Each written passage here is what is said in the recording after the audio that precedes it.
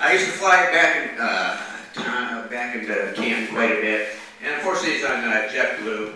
It's the only airline that flies into my hometown. Anyway, uh, you know you're uh, on a low-budget airline when you hear this. Stand clear of the closing doors.